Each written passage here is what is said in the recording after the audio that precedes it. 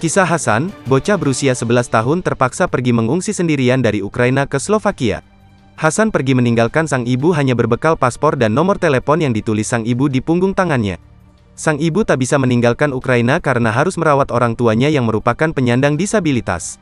Hasan adalah satu dari 1,7 juta pengungsi Ukraina yang kehilangan tempat tinggal karena serangan Presiden Rusia Vladimir Putin. Bocah pemberani itu awalnya berada di Zaporizhia, namun harus pergi seorang diri membawa bekal kantong plastik.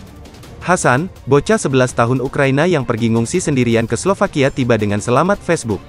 Hasan meninggalkan rumah setelah pasukan Rusia menyerang pembangkit listrik di dekat tempat tinggalnya di Ukraina. Ia melakukan perjalanan 750 mil menuju perbatasan hingga sampai ke Slovakia, Sabtu, tanggal 5 Maret tahun 2022.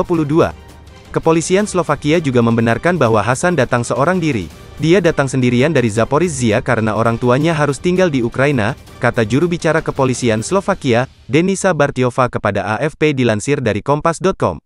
Sementara itu, dikutip dari The Sun, para relawan cukup kaget melihat surat dari keluarganya dan melihat nomor ponsel di punggung tangan sang bocah.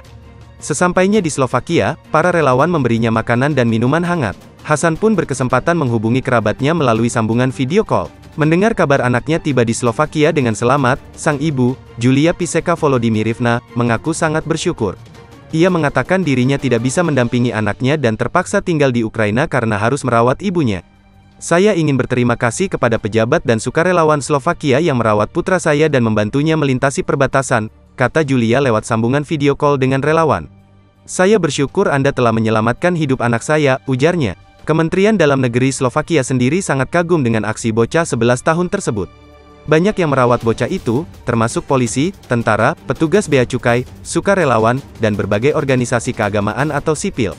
Saat ini, pihak Asosiasi Komunitas Pemuda Kristen tengah berusaha membantu proses penyelamatan ibu dari Hasan. Kami sedang mencari cara untuk menyelamatkan ibu dan neneknya yang difabel. Hasan dan saudara-saudaranya selamat di Slovakia, katanya. Kita berdoa untuk semua keluarga yang terkena dampak perang ini dan berharap semua orang membantu senantiasa diberi kekuatan dan cinta, lanjutnya.